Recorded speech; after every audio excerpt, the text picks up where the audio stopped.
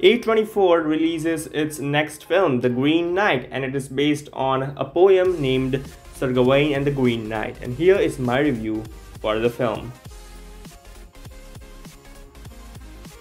The Green Knight is about Sir Arthur's, uh, King Arthur's uh, nephew, headstrong nephew, who embarks on a journey to confront the Knight, a gigantic tree-like creature. Yeah, it sounds bit too much, right? But it's not a bit too much. The movie is absolutely stunning. It's a masterpiece of cinema. The way it is filmed, the way it was cinematographed, it is absolutely stunning. Right from the first frame to the last frame, it never loses its charm. It is just filled with amazing visual effects. And a movie, I mean, A24 does not make these epic movies too often, and finally does invest in some and then we get a product like The Green Knight, which is of course a masterpiece, one of the best movies of the year. I'm, I'm to be clear, it is one of the best movies of the year. It's just a masterpiece, as I said. Uh, Dev Patel is amazing in his role. I mean, he just nails it. Of course, he's by far the best uh, actor in the film. Uh, every expression, every moment uh, that he has acted in this film is just worth it. He just gives his entire uh, uh, entire uh, devotes him entirely to this uh, to this character. He was made to play this character. He was one of the best parts of the film.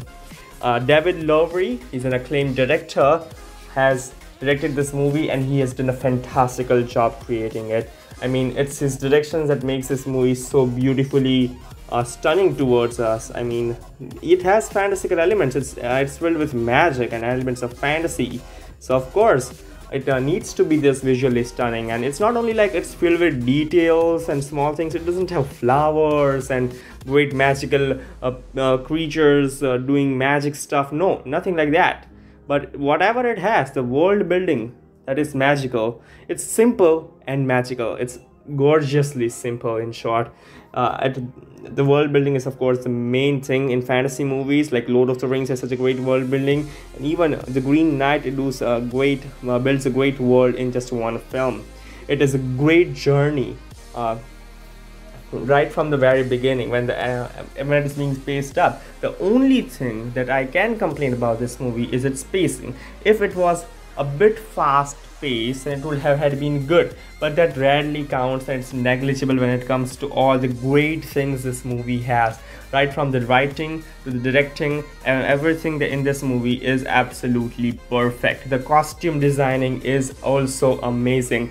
Uh, a24 has invested quite a lot of money i guess on this movie because it looks expensive and yeah i hope this does good at the box office because i don't see a lot of uh, common audience uh, getting anticipated for it but i hope it does good at the box office as well. But we'll see about that. But uh, for the critical reception side it's going to do absolutely amazing. You know the early reactions are great for this movie. And i as you can see i'm uh, saying this i'm calling this movie a masterpiece one of the best films of the year. So how can i not be that great it's overall a great film. You should definitely check, it out. Highly recommended. I will give this a 9.4 out of 10 you should surely check it out and see it on the biggest screen possible. And that's my review for the green knight. Uh, share your own uh, thoughts in the comment section down below after you watch it. And like share and subscribe FilmVilla